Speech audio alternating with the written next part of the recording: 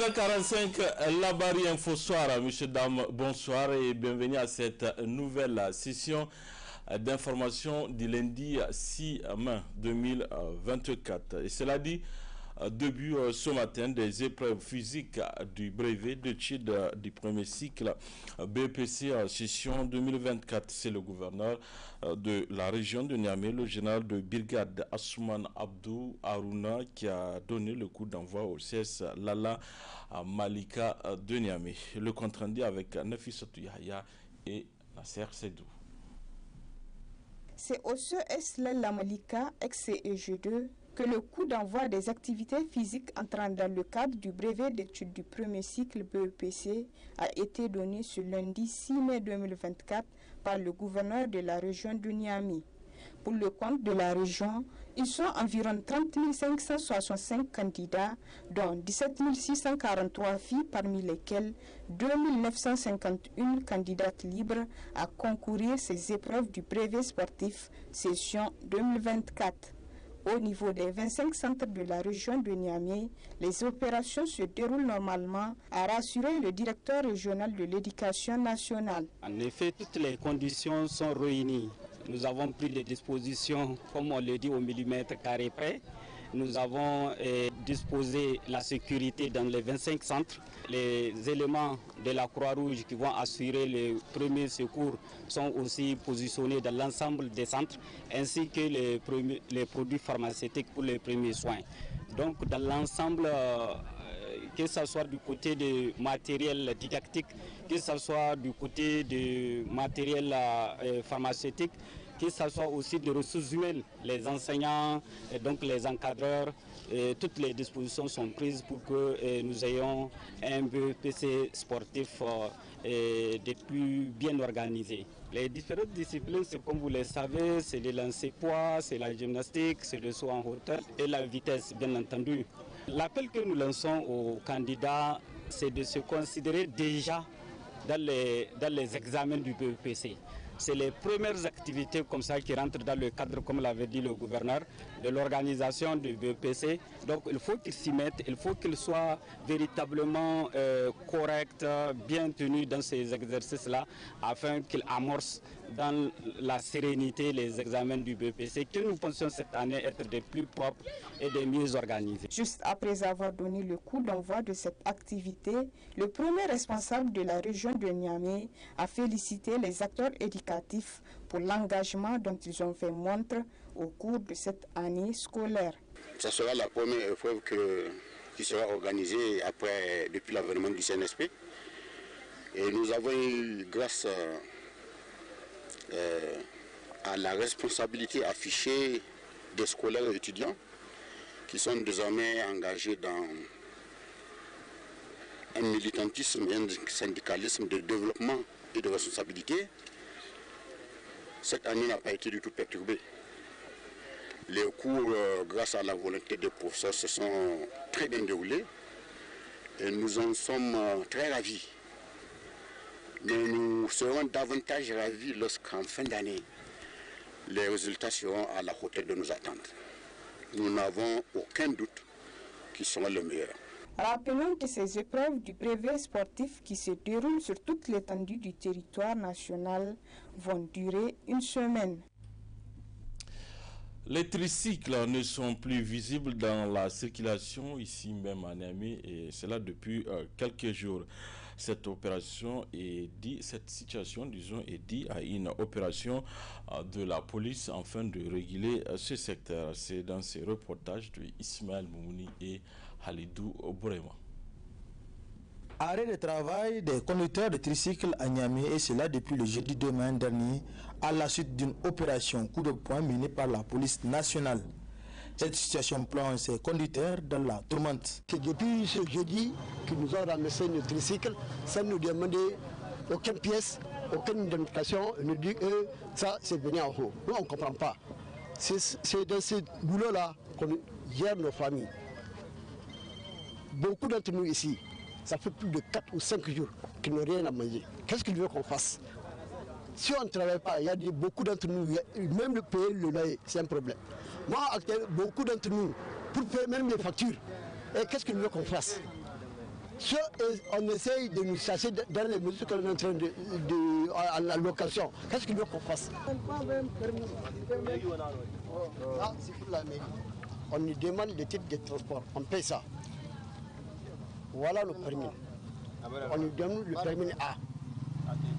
Catégorie A. Ça, la catégorie de la moto. L'assurance.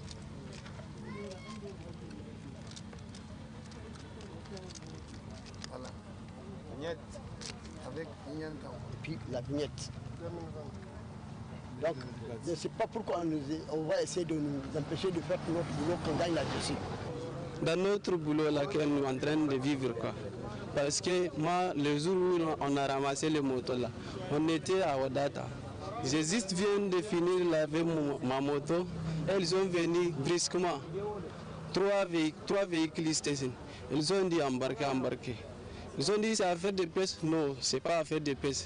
Allez d'abord à Stade Général Senkunke. Hors caméra, le directeur de la police de la ville de Niamey nous a affirmé que cette opération coup de poing vise tout simplement à réguler ce secteur. Ce que d'ailleurs confirme le secrétaire général du syndicat des propriétaires et conducteurs de tricycles, juste après son entretien avec le DPVN. La police veut que tous les tricycles soient en règle. Ils doivent disposer des taxes d'embarcation, autorisation d'exercice et numéro communautaire. Voilà les raisons de cette opération de la police. Donc, on va aller informer les militants pour qu'ils puissent se prémunir de leurs papiers à la mairie et venir récupérer leurs motos. La police interdit le transport mixte, donc il est défendu de prendre des passagers.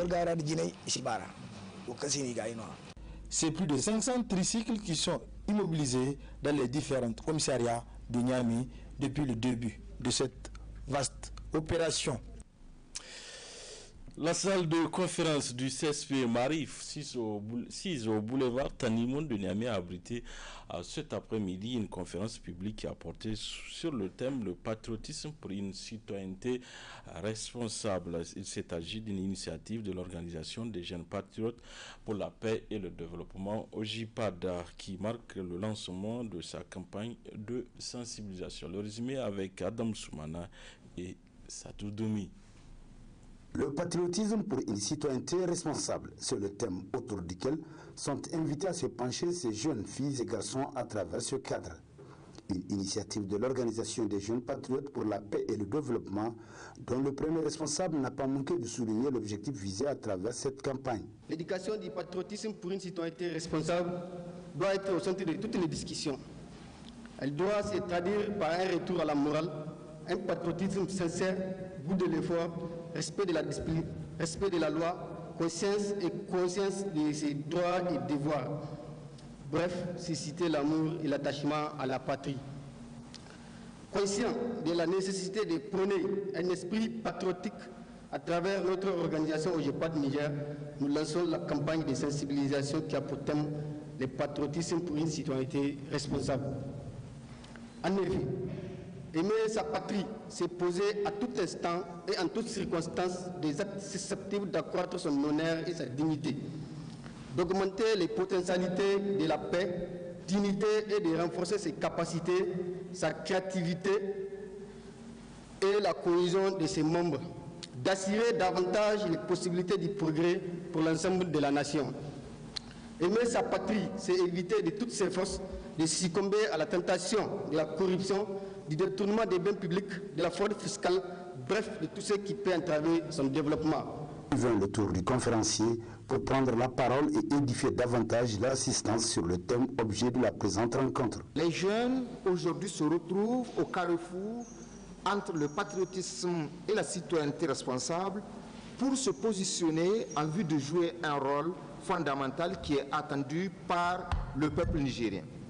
Quel est ce rôle ce rôle les amène effectivement à se retrouver entre ce patriotisme et cette citoyenneté responsable. En tant que jeunesse, ils sont à la quête d'une certaine forme de souveraineté. Autrement dit, les jeunes veulent être patriotes, mais pour ce faire, il va falloir qu'ils se portent eux-mêmes comme citoyens responsables. Lorsqu'ils sont des citoyens responsables, ils vont œuvrer pour le patriotisme et c'est en cela que tout ceci va permettre une certaine forme de souveraineté nationale dans laquelle tous les Nigériens se retrouveront. Cette question de souveraineté nationale concerne l'ensemble des Nigériens et il va sans dire que dans ce contexte-là, elle va aboutir à un développement durable qui est attendu par tous et qui sera profitable pour tous.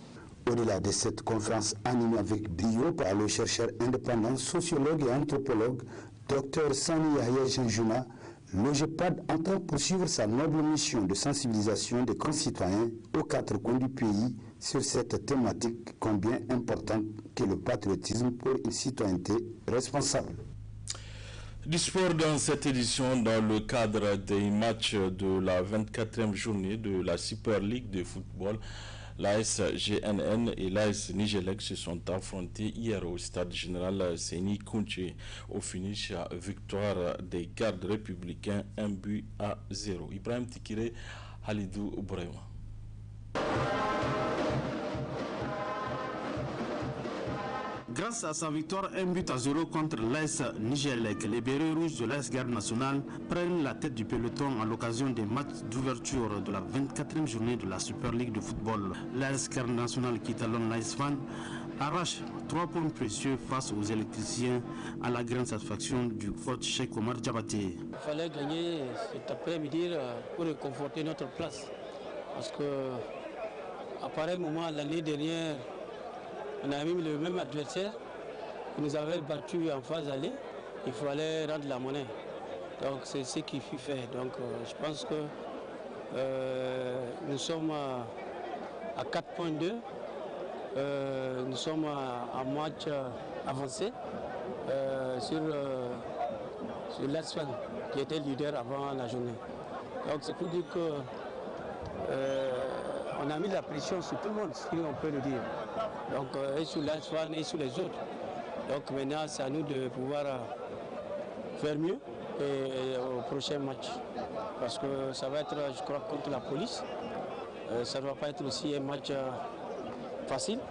Et connaissant l'adversaire, maintenant, si nous gardons la concentration, si nous travaillons encore la cohésion, parce qu'aujourd'hui, quelque part, moi je, dis que, je dirais que ça nous a, ça nous a manqué.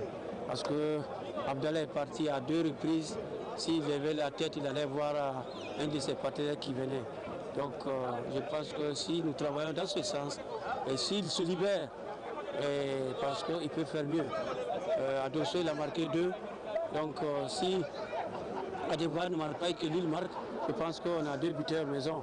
Donc il faut que ils se disent qu'ils ne jouent pas seuls aussi. Il faut qu'ils passent, ils pensent aux autres. Sinon, euh, dans l'ensemble, je pense que je m'attendais à cette agressivité et euh, à cette façon de jouer. Et parce que euh, la Nigélec n'a que le, seul trophée à, à, la recherche de ce trophée. Donc, s'ils perdaient, peut-être ça allait être un peu compliqué pour eux. Donc, nous aussi, si nous perdons, ça va être un désavantage pour nous. Donc moi je pense qu'on a gagné. C'est une bonne chose, c'est à nous maintenant de pouvoir faire la différence sur les autres matchs. Leader provisoire en attendant le match AS Fan AS Police de ce mercredi 8 mai, l'équipe de l'AS Garde nationale savoure sa première place. Autre résultat de la 24e journée, c'est le score d'un but partout entre le ZAC, le Zmonta Athletic Club de Niamey et l'espoir de Zender. D'autres rencontres sont programmées pour le compte de la 24e journée avec un alléchant AS Fan AS Police prévu pour ce mercredi 8 mai 2024 au Stade Kunche de Niamey. Voilà, monsieur, dames, c'est tout pour ce 19h45 de la télévision à la Bari. Merci à vous de l'avoir suivi. Au revoir.